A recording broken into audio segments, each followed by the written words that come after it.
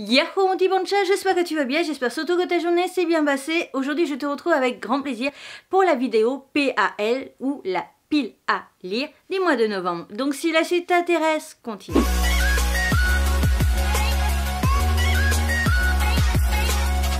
Oui, je sais, ça fait un petit moment j'en ai pas fait, mais en fait, je m'étais rendu compte les dernières fois où j'avais été un petit peu trop enthousiaste au niveau du choix et qu'il m'arrive toujours des couilles en cours de route. Et donc forcément je ne lisais plus que j'envisageais et je trouvais que mes vidéos du coup étaient mensongères et je n'aimais pas vous mentir même si c'était pas euh, réellement fait exprès. C'était juste, je choisis des titres et finalement il se passait X ou Y choses, comme par exemple l'ami Dragmar qui t'envoie un petit colis avec deux, un manga en deux tomes récemment. Euh, ou autre. Donc, euh, bah, en gros, à chaque fois, ça, je lisais pas tout et ça m'énervait un petit peu parce que j'avais l'impression de vous mentir, même si c'était pas fait esprit. Pour cette vidéo, on va être divisé en quatre étapes.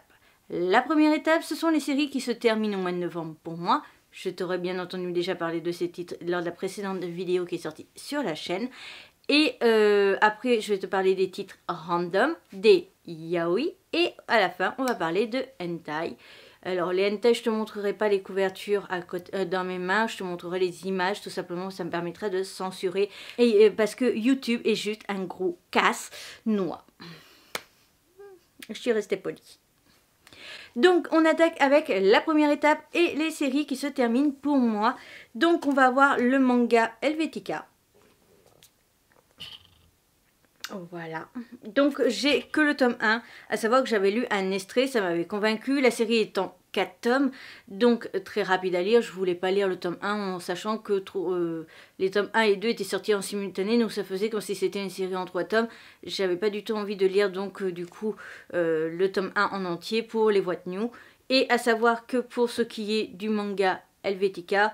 Euh, bah, c'est un manga sur le thème halloweenesque. Donc comme euh, il se termine en novembre, euh, je crois qu'il se termine en plus le 14, un truc comme ça. Donc ça c'est un manga que je vais lire au moment où il va sortir. Mais la vidéo sera gardée de côté pour le Halloween Manga Challenge de l'an prochain, donc Halloween Manga Challenge 2020, en espérant qu'ils soient un petit peu plus, euh, que, vous soyez un petit peu plus motivés pour faire ce Halloween Manga Challenge, parce que cette année ça a été très très plat, j'ai eu l'impression de faire le truc tout seul. Donc ça m'a rendu très triste, mais en tout cas, voilà, Helvetica, je vais quand même le lire, et donc si tu as vraiment besoin d'un avis, n'hésite pas à me le demander, je te le dirai, mais euh, c'est vrai que je préfère quand même faire la vidéo et la poster donc l'an prochain.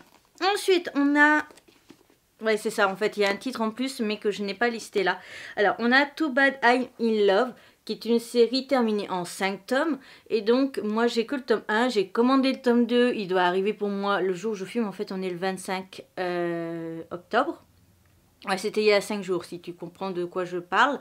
C'était il y a 5 jours. Donc, euh, ça, j'ai commandé donc le tome 2 pour le recevoir prochainement.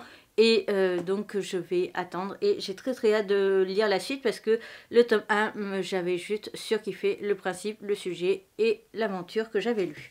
Ensuite on a euh, le manga SOS Love, c'est une série qui est terminée en 7 tomes des éditions Akata. Et SOS euh, Love j'avais vraiment surkiffé, alors j'avais lu que le tome 1, j'ai acheté le tome 2 à la suite parce que je, voilà, je voulais avoir la suite et j'avais acheté le tome 2. La série est terminée en 7 tomes, et euh, bah, j'ai rien d'autre à dire. Je l'ai déjà présenté, je crois, mon avis sur le tome 1. J'ai dû faire un crash test, je pense. Donc, ensuite, pour terminer, au niveau des séries qui se terminent et que je n'ai pas dans les mains parce que je n'ai pas acheté encore le tome 1, c'est le manga Entre deux des éditions Akata. C'est un manga donc en deux tomes. Euh, j'ai lu l'extrait, j'avais surkiffé l'extrait. Et euh, bah, j'hésite en fait énormément à le demander à Akata pour avoir les deux volumes et un petit peu en avance le volume 2. Parce que le volume 2 sortirait le 21 euh, novembre, si je dis pas de bêtises. Et que le 21 novembre, je suis euh, sur Paris. Mais euh, le lundi et mardi, cette semaine-là, alors la semaine elle tombe comment? La semaine tombe du 18 au 24 et moi du 20 au 23 en fait je suis sur Paris donc voilà, donc soit je reçois avant et je peux encore filmer la vidéo le 19 et je peux la mettre à charger après. Mais euh, c'est vrai que sinon, bah, ça va être un petit peu compliqué. Donc voilà, j'hésite. Akata, je pense que vous regardez cette vidéo parce que à chaque fois que je vous identifie, je pense que vous regardez les vidéos. N'hésitez pas à voir si c'est faisable ou pas que je reçoive avant le, avant le 18 quoi parce que le 19 faut que je filme On attaque donc à la deuxième étape et ce sont les titres random que je vais te présenter. On va avoir déjà deux vidéos crash test ce mois-ci avec le tome 1 et le tome 2 du manga Fuka. Si tu te demandes quand c'est que j'ai acheté ces titres, c'est que tu n'as pas vu ma vidéo ouverture du colis avec ma collègue youtubeuse Cuties. Et en fait, Cuties m'a offert les tomes 1 et le tome 2, donc du coup, de ce manga. Et euh, donc, comme la série va se terminer avant que je parte dans notre pays. La petite est maline parce qu'elle avait retenu cette information.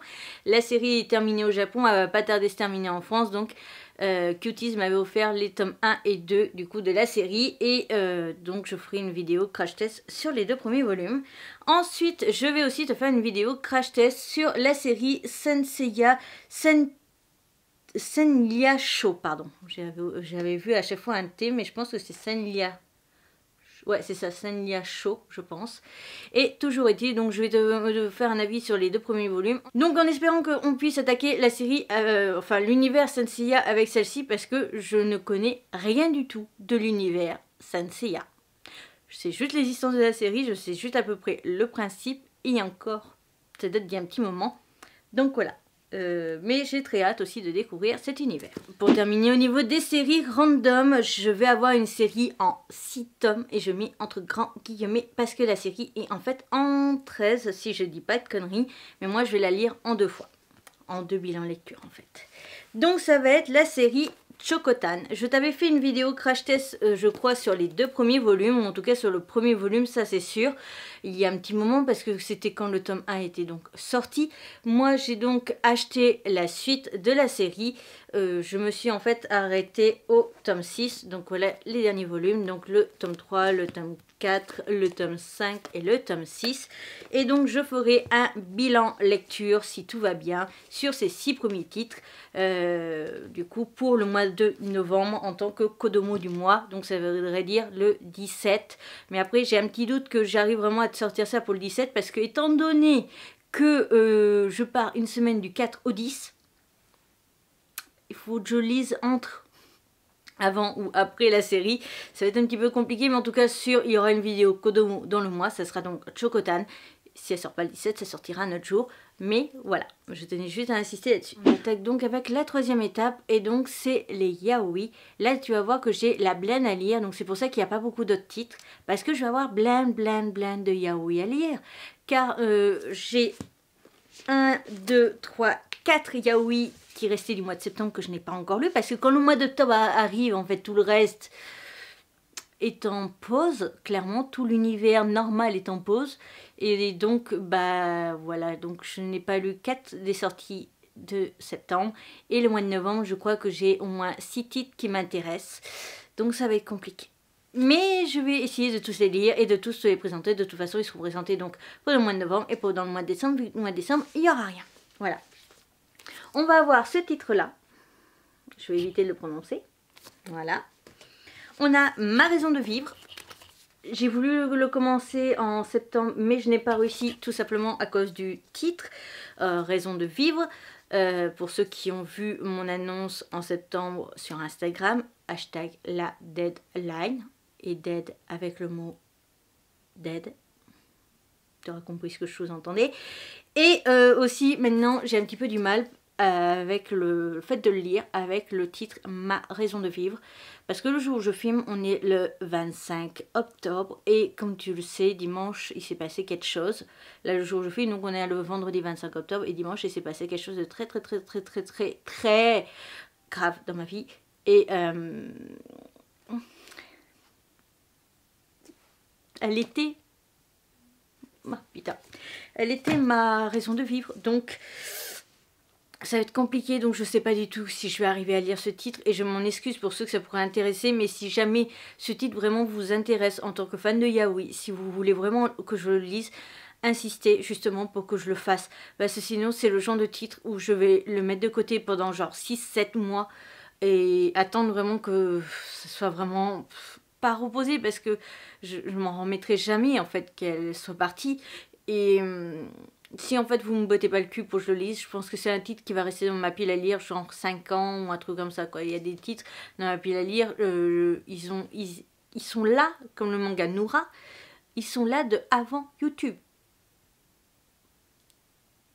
J'ai commencé le YouTube manga, le YouTube manga en 2016 et il y a un titre, je pense, qui doit dater de 2014. Voilà. Donc clairement, si tu me bottes pas le cul pour ma raison de vie, ça va être un peu le même genre. Ensuite, on a Allégeance euh, sous le cerisier. Voilà. Et on continue avec celui-ci. Je vais éviter de dire le titre car je suis incapable de savoir comment ça se prononce. Voilà. Gore Dean. Oh, alors là, en plus, en essayant de lire à l'envers, ça va être un, concept. Toujours est-il qu'il me reste aussi ce titre-là à lire. Et je vais te mettre à côté de moi, donc, tous les autres titres qui sont les nouveautés du mois de novembre, qui vont sortir, donc, si je dis pas de bêtises, le 11 novembre, qui euh, m'intéressent et donc que j'envisage de lire. Après, je ferai vraiment au niveau des yaoi, là, que ce soit les anciens de septembre ou ceux de novembre, je ferai en fonction de vos demandes pour l'ordre de lecture. C'est-à-dire que si je vois que j'ai trois, euh, par exemple, euh, allégeance, euh, si je vois que j'ai trois personnes qui me demandent allégeance, allégeance va passer devant. Et si je vois par exemple que dans les nouveautés là que je suis en train de te mettre depuis tout à l'heure, qu'il y a deux votes par exemple pour tel titre, ça sera le deuxième, tu vois. Et si je vois que j'ai zéro vote, eh ben, il passerait un peu plus tard. Ça, c'est juste le principe. Ma façon de faire, c'est euh, mettre en avant les titres qui vous intéressent le plus. Personnellement, que je lise dans un ordre ou dans l'autre, je n'ai strictement rien à faire. Du moment que je les lis, pour moi, c'est la même chose. Que ce soit, euh, par exemple, que souvent dans ces cas-là, et je pense que c'est ce que je vais faire, c'est quasiment me faire une semaine yaoi ou presque 3-4 jours d'affilée. Donc que je lise le premier lundi ou euh, que je lise celui-ci par exemple lundi ou mercredi et que ce soit lui lundi ou par exemple mardi. Honnêtement, ça ne va pas me changer grand-chose. Vous, par contre, ça change énormément vu qu'il y a une vidéo chaque vendredi en yaoi. Et donc, un titre peut être vendredi la semaine prochaine, tout comme ça peut être vendredi euh, vu que je, te, je, peux te les présenter aussi au mois de décembre, je te laisse imaginer le, temps que tu peux attendre pour avoir l'avis sur un de tes yaoi. Donc s'il y en a un qui t'intéresse, c'est maintenant ou jamais, il faut me le dire. On termine donc avec les hentai. Donc normalement, euh, le jour où je filme, je pense lire Hel Helven Bright avant du coup début novembre. Et après, j'ai deux euh, mangas des éditions Taifu que je dois lire. Et je crois aussi que Taifu doit sortir une nouveauté, soit en octobre, soit en novembre. Je suis désolée, je ne sais plus du tout. J'ai du mal à suivre, je ne sais pas pourquoi les nouveautés de Taifu, j'arrive jamais à retenir. Alors que j'aime bien cette maison d'édition j'ai pas de problème avec eux. Mais j'arrive jamais à retenir leur date. Voilà. C'est surtout aussi parce que quand je commande ces titres-là sur Amazon, j'ai toujours un petit quack de euh, vous l'aurez dans 2-3 semaines. Donc du coup, à chaque fois, bah, je me dis, je commande pas sur Amazon, je l'achèterai quand je serai envie là. Et c'est pas souvent. Cette vidéo Bill à lire est donc à présent terminée. J'espère de tout mon cœur qu'elle t'aura plu. N'hésite surtout pas à me dire quels sont, toi, les titres que tu envisages de lire pendant le mois de novembre. J'espère que j'ai pas été trop gourmand cette fois-ci et que j'arriverai à lire tout ça dans les temps. Je te retrouve donc bientôt pour une nouvelle aventure. Je te fais de gros bisous et je te dis à bientôt. Bye